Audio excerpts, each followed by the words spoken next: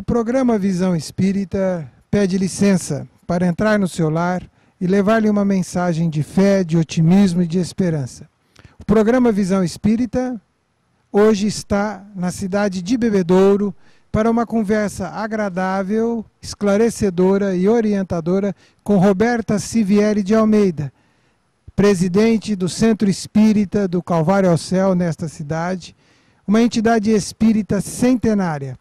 Seja bem-vinda, Roberta. É, muito obrigada. Eu que agradeço a oportunidade de estar com vocês aqui.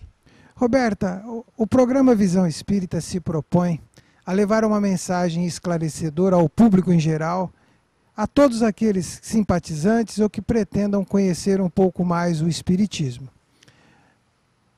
Quem foi, quem é Hippolyte Leon Denisard Rivail, que nós chamamos de Allan Kardec? Bom, André, Allan Kardec ele foi o codificador da doutrina espírita. Codificador da doutrina espírita, nós podemos dizer que não é o fundador nem o, o, dono da doutrina espírita. Ele foi aquele homem que, com todo o seu trabalho didático, científico, reuniu as informações que foram trazidas no mundo conhecido de então pelos espíritos e é, publicou em 18 de abril de 1857 o Livro dos Espíritos, que foi o primeiro dos livros espíritas, quer dizer, a doutrina espírita data de 1857.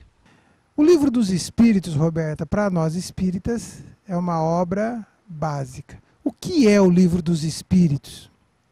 Bom, nós poderíamos dizer, sob o meu ponto de vista, que o Livro de, dos Espíritos ele é o início da doutrina espírita e ele trata de questões fundamentais.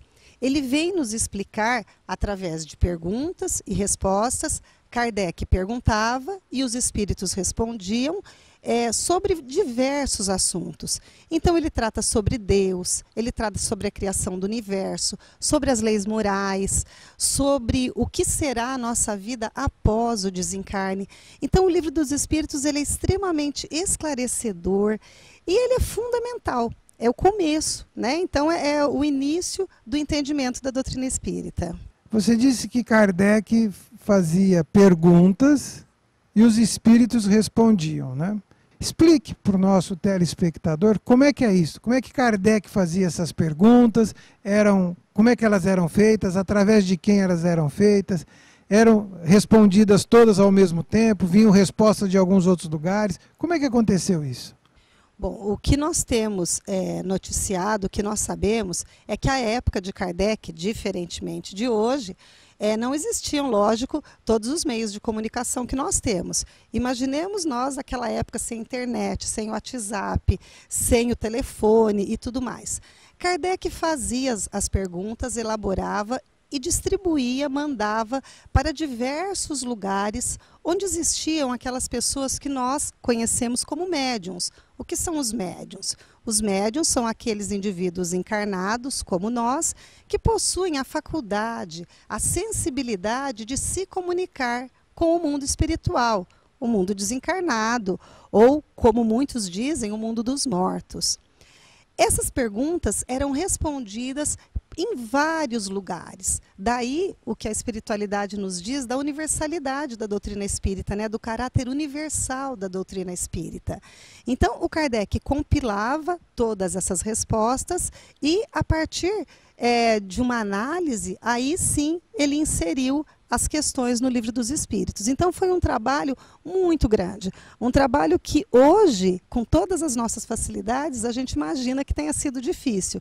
Então imaginemos o que foi isso lá nos idos de 1850 e tudo mais, né? Então foi um trabalho incrível mesmo. As perguntas eram feitas em sequência ou ele mandava aleatoriamente para vários lugares, vinham as respostas, seguiam uma ordem ou era um trabalho de pesquisa, de levantamento de informações para depois estruturar um livro? Eu entendo que o Kardec seguiu uma ordem, né, uma ordem didática, que ele, como pedagogo que era, um homem é, afeito à educação, ele não fez nada aleatoriamente. Então foi tudo muito bem pensado, tudo muito bem planejado. Agora, realmente ele distribuía as questões e as recolhia da maneira como lhe era possível na época, né? O livro dos Espíritos, Roberta, como é que se chamava? Como é que se identifica quem responde estas perguntas de O Livro dos Espíritos? Para nós espíritas, né? quando nós temos acesso a outras obras fundamentais de outras crenças, existe aquele que é a base, aquele que dá a sua, o seu fundamento. Como é que é no Espiritismo? Quem é que respondia estas perguntas que para nós se tornou um roteiro de existência? As perguntas do Livro dos Espíritos, a grande maioria delas, é, foi respondida por uma pleiade de espíritos. Hoje especula-se muito em relação a isso, né? mas uma pleiade de espíritos que se intitulava o Espírito de Verdade. Então, o Espírito de Verdade, ele respondeu a praticamente todas as perguntas. E existem muitos comentários no Livro dos Espíritos de outros espíritos. Por exemplo, Santo Agostinho, não é? Vários outros comentaram as questões do livro dos Espíritos. Esse, espírito de verdade, o espírito verdade, era um espírito ou um grupo de espíritos que respondiam isto? Como é que era essa? Era um ou eram vários? É uma questão que hoje em dia tem se comentado muito, né? Existem é, estudiosos que dizem hoje que o Espírito de verdade, na verdade, era Jesus.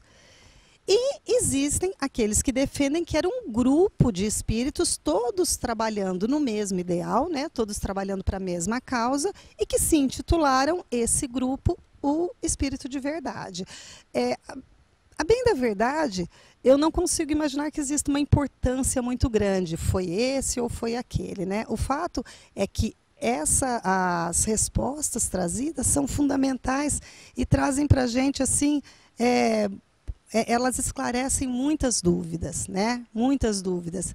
E existem assim muitos de nós que encontramos ali é, encontramos ali aquele alento que a gente precisa no entendimento, por exemplo, de quando perdemos um ente querido, né? Coisas desse tipo.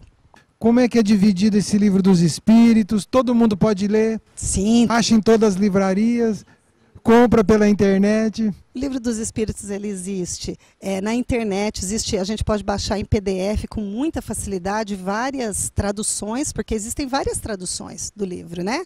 Nós temos diversos é, é, escritores brasileiros que traduziram. Então, nós encontramos nas livrarias espíritas, normalmente nas casas espíritas, nas feiras dos livros, muitas, em muitas livrarias convencionais, nós encontramos a seção que existem os livros espíritas, nós vamos encontrar o livro dos, dos espíritos, é, como eu disse também na internet.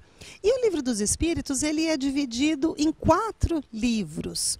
Então, existe o livro primeiro, né, que é das causas primeiras, das causas primárias, que tem um conjunto de questões. Depois existe o livro segundo, que fala sobre os espíritos, comunicabilidade e tudo mais. O livro terceiro, que trata das leis morais. E depois tem o livro quarto, que vai tratar das penas e gozos futuros, né, do, do nosso futuro é que vai nos esclarecer. E depois existe uma conclusão do Santo Agostinho. Agora, o livro dos Espíritos, todos nós, todas as pessoas que professam sua fé, professam sua crença, elas buscam na base um alento, um esclarecimento ante as, as suas dificuldades, as suas questões de fórum íntimo, seus problemas diários, elas vão consultar uma origem. Vão lá, consultam o seu livro básico, né? Cada fé tem o seu e eles vão lá buscar. Nós espíritas consultamos o livro dos espíritos, existem mais obras. Como funciona essa base do espiritismo? Quais são os livros? E se os espíritas também recorrem a estes livros e se são só os espíritas, se os outros também podem. É, na verdade, as obras espíritas, elas estão disponíveis para todos os públicos, né? Todos mesmo. O livro dos espíritos, que é o primeiro livro, ele é, digamos assim, mais filosófico. Aí nós vamos encontrar no livro dos médiuns, que como o próprio nome diz, trata dos fenômenos mediúnicos, vem nos esclarecer também como perguntas e respostas, o que são médiums, como são as classes de espíritos e tudo mais. É um estudo, vamos assim dizer, mais aprofundado. E é muito importante nós lermos o livro dos médiuns, mesmo as pessoas que não sejam espíritas, para terem um real conhecimento, não é? Para nós não ficarmos especulando. Há também o livro O Céu e o Inferno, que, como o próprio nome diz, trata é, da, da, vida depois da morte. Céu e inferno não são termos usados na doutrina espírita, mas a gente entende que foi colocado esse nome exatamente para deixar bem claro para todos os públicos do que se trata esse livro. O conhecidíssimo Evangelho segundo o Espiritismo traz o, é, a interpretação espírita do Novo Testamento. Então nós temos lá passagem, as passagens da vida de Jesus. É interessante que algumas pessoas às vezes dizem assim: o Evangelho segundo o Espiritismo, e qual seria o Evangelho primeiro, né? Então, a gente esclarece o seguinte, que na verdade esse segundo quer dizer o evangelho de acordo com a com a interpretação espírita. Então, existem as passagens de Jesus, atribuídas a Jesus, e depois o esclarecimento, né? o esclarecimento das parábolas, dos ensinos e tudo mais. Existe também a Gênese, que, como o próprio nome diz, é, é, o nome de um dos livros do Velho Testamento, Gênesis, né? A Gênese vai tratar da formação do mundo, é um livro bem científico. Então aí nós temos os cinco livros básicos da codificação, que costuma se dizer o Pentateuco espírita, o Pentateuco kardeciano. Então esses são o começo. É, como existe uma campanha da, da USE, né, uma campanha da FEB, inclusive, comece pelo começo. Então, no comece pelo começo, né, quando a gente fala em estudar a doutrina espírita, esses livros são fundamentais. E junto, é, hoje, com o advento da internet, é uma maravilha, porque você encontra muitas coisas, né? encontra muitos autores que esclarecem, que estudam e tudo mais. E depois nós temos as obras complementares, que os espíritas leem, claro, e que a população, de um modo geral, claro, tem acesso tranquilamente. Agora, para aqueles que gostariam de estudar, para aqueles que querem conhecer, é muito importante conhecer Kardec. É muito importante, é fundamental. Roberta, nós estamos comemorando 160 anos de O Livro dos Espíritos.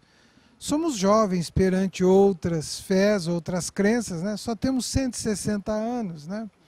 Mas, no entanto, fomos anunciados por Jesus como o Consolador prometido. Qual o significado disto? Né? No Evangelho, nós temos um capítulo que vai falar sobre o Consolador. Te faço essa pergunta, Roberta, para chegar daqui mais adiante, já até adiantando, como que o Espiritismo ajuda no dia a dia as pessoas? Como ele é este consolador prometido? Bom, como você disse, 160 anos do Livro dos Espíritos, 160 anos da doutrina espírita, uma doutrina jovem, uma doutrina muito jovem, mas que tem trazido assim muita coisa boa, muitos ensinamentos, né?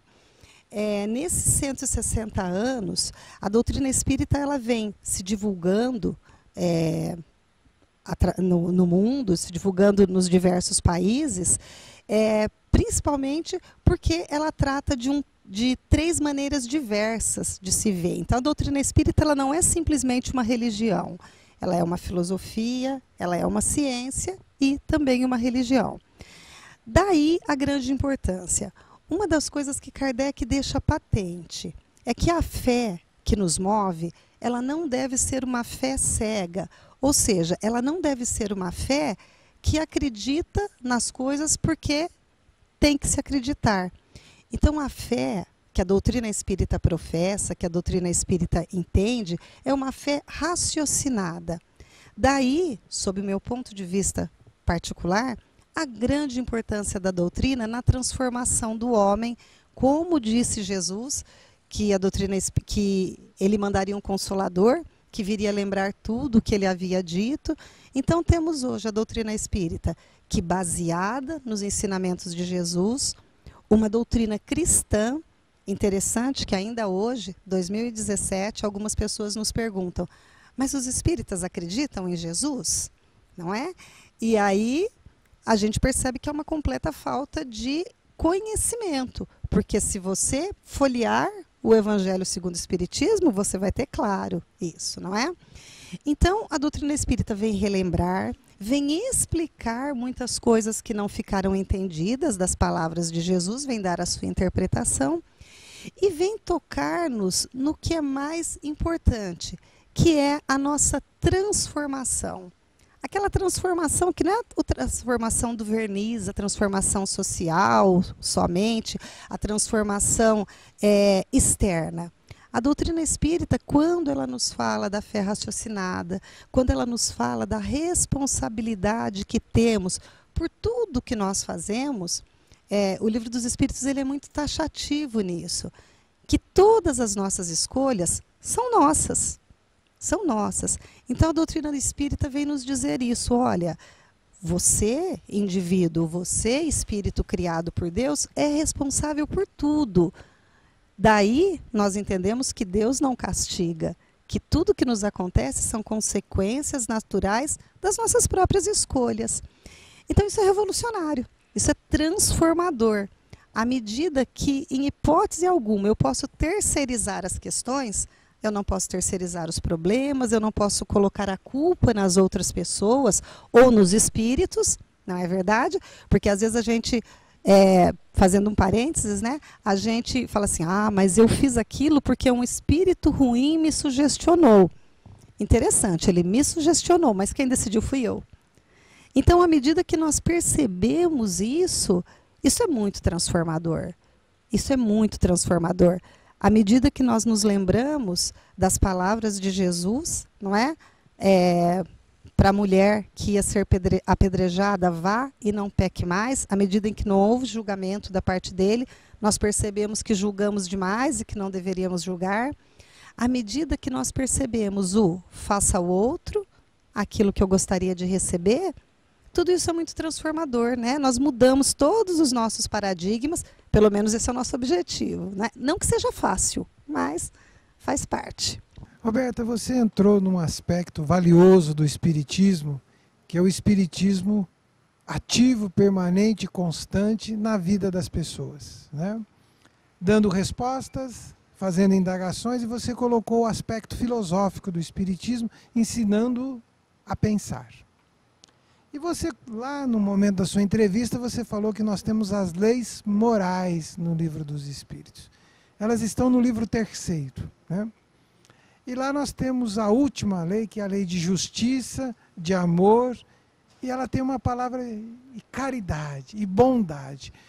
Como é que o Espiritismo vem? Porque nós espíritas somos muito conhecidos pela ação social que desenvolvemos e agora também pela ação de divulgação esclarecedora e consoladora do Espiritismo.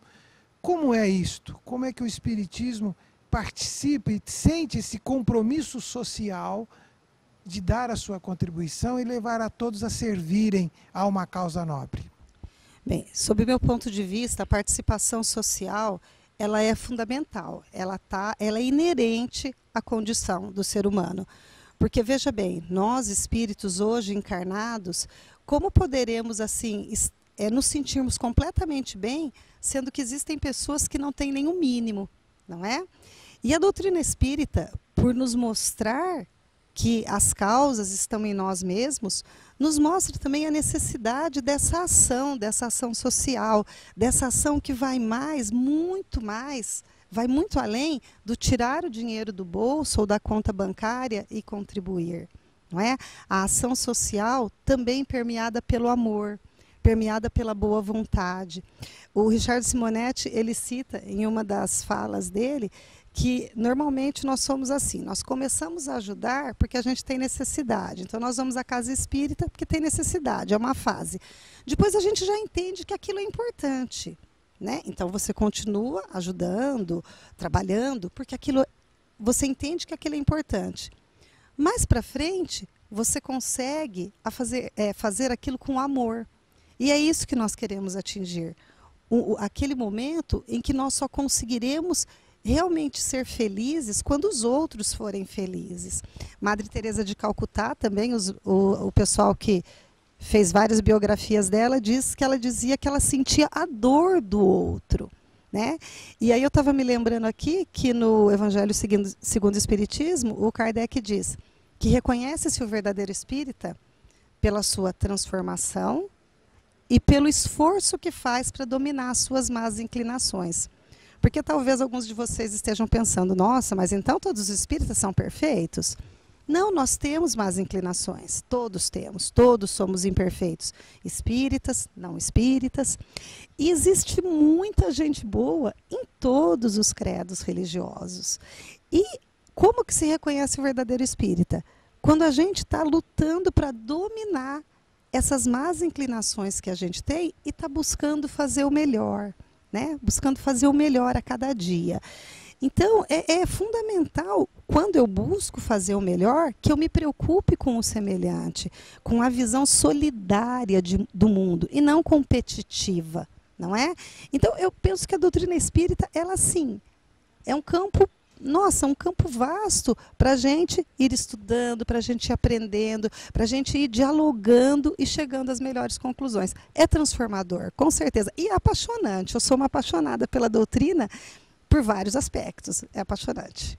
Roberta, peço que você, já te agradecendo pelo carinho, por conversar conosco do Visão Espírita, trazer essa fala valiosa, agradável, peço que você deixe ao nosso telespectador uma mensagem. Te agradeço já deixando um convite para continuarmos esta conversa em outras oportunidades. Roberto, por favor, uma mensagem ao nosso telespectador. Eu, eu agradeço ao André, agradeço a vocês. E a mensagem que eu gostaria de, de deixar a todos aqueles trabalhadores é, em suas casas espíritas, nos diversos lugares, né, aqueles que têm acesso a esse programa, é que façam, na medida do possível, da sua casa espírita, aquele lugar abençoado onde as pessoas encontram tudo aquilo que elas precisam. Eu penso que a casa espírita é muito mais do que as paredes, ela é muito mais do que nós que as frequentamos. Ela é aquele lugar onde muitas vezes a pessoa é, recorre no momento de maior desespero. Então, que a doutrina espírita seja transformadora em nossas vidas e que a doutrina espírita nos ajude também a transformar vidas através da disponibilidade que a gente pode ter com relação às outras pessoas. Tá? É muito é muito prazeroso quando nós sentimos que as pessoas se sentem bem. E eu penso que é esse o caminho. Muito obrigada. Muito obrigado, Roberta. Muito obrigado a você que acompanhou conosco Visão Espírita.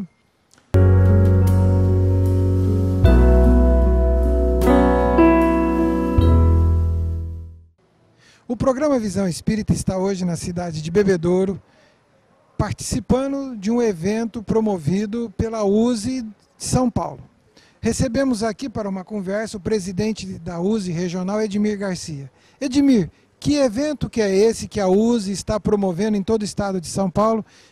Para o nosso telespectador, já aproveita explicando o que é a USE. A USE, que é a União das Sociedades Espíritas do Estado de São Paulo, é dividida em regionais. E para comemorar os 160 anos da publicação de O Livro dos Espíritos, essas regionais foram divididas em duplas. Então, das 24 regionais, é, são 12 eventos pelo Estado, né, simultaneamente é, recebendo palestras na noite de hoje. Algumas receberam uma reunião administrativa na tarde de hoje e outras terão a reunião administrativa na manhã do domingo. A, a ideia é juntar todo o estado, mas em locais diferentes. Né?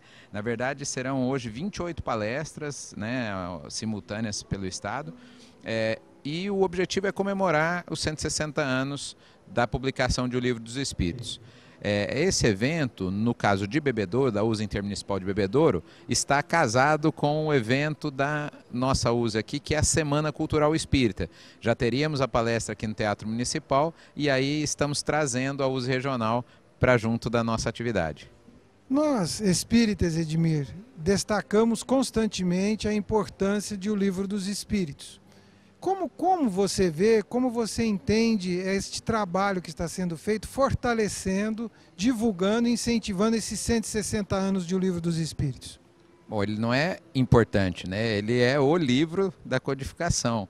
É, todos os demais precisam estar alicerçados, embasados em o livro dos Espíritos. Então, existe uma campanha da USE, comece pelo começo, que a gente sempre incentiva para que as pessoas, ao começarem a leitura, o estudo da doutrina, seja por essas duas obras, o Livro dos Espíritos e o, é, o Evangelho segundo o Espiritismo. Porque lendo elas, qualquer outra obra vai ser fácil compreender à luz da doutrina. Edmir, para o público não espírita, né, como, é que é, como é que é estruturado o movimento espírita? Como é que isto funciona de um modo geral? Esclarecendo aquele telespectador que não é espírita, acessou o YouTube, acessou um site, como é que esses espíritas se organizam? Bom, não existe hierarquia dentro do movimento espírita, diferente de outras religiões, não há mando, não é? Mas há uma questão organizacional. Então nós temos em nível de Brasil a FEB, que é a Federação Espírita Brasileira, e cada estado tem uma federativa. No caso do Estado de São Paulo é a USE, União das Sociedades Espíritas do Estado de São Paulo, que tem o seu voto junto à FEB e que congrega todas as casas espíritas do Estado de São Paulo, né, as casas espíritas filiadas é, a este órgão. E ela faz o que a USE? Ela organiza é, as casas, ela dá assistência para que as casas se formem e se fortaleçam. Basicamente é esse o trabalho da USE. Allan Kardec, que é a base que estruturou o livro dos Espíritos, estruturou o Evangelho do, segundo o Espiritismo, disse que uma das grandes, se não a principal tarefa do espírita é divulgar o Espiritismo. Como você vê essa divulgação? Como nós estamos com a divulgação do Espiritismo? Estamos tornando o Espiritismo audível aos espíritas e aos não espíritas? Bom, é, é a tentativa é essa, mas a gente sabe que tem muito a fazer ainda. É, a doutrina espírita, às vezes, né, por falta de recursos financeiros e outros fatores, não consegue chegar a todos os lugares. Mas é, tem melhorado. É Feira do Livro, que acontece em espaços né, não espíritas, palestras como essa que nós teremos hoje no Teatro Municipal, tivemos palestras no Salão de Convenções do Bebedouro Shopping. Então, acho que esses eventos que saem da Casa Espírita acabam mostrando um pouco a cara né, da, da doutrina para a comunidade simpatizante. É, eu gostaria de destacar assim, quando uma emissora de TV fez um, uma eleição de qual brasileiro mais importante de todos os tempos, o Chico Xavier ganhou com 76% dos votos. É, é interessante porque nós espíritas somos 2% da população. E aí nós pensamos, quem votou no Chico Xavier? Né, pessoas de outras religiões. É, as novelas, os filmes hoje abordam temática espírita, não é? Então acho que a doutrina espírita chega sim é, a todos os rincões aí. Edmir, por favor, uma mensagem ao nosso telespectador sobre a importância desse livro. Bom, a importância, como disse anteriormente, é que é a base, é o alicerce para que a doutrina espírita é, possa se, ser divulgada. É, eu acho que nós é que precisamos agradecer a esta obra, né? Ela mudou a minha vida, acho que mudou a sua e mudou de tantas pessoas que tiveram acesso a ela. Então, é, nós não fazemos nada pela doutrina, é ela que faz por nós. Somos nós que precisamos desta obra maravilhosa e tomara que ela chegue realmente a muitas pessoas, porque tenho certeza que vai mudar a vida delas para melhor. O Visão Espírita se despede do Edmir, agradecendo a atenção e o carinho com esta atividade, com este trabalho de divulgação do Espiritismo. Muito obrigado, Edmir.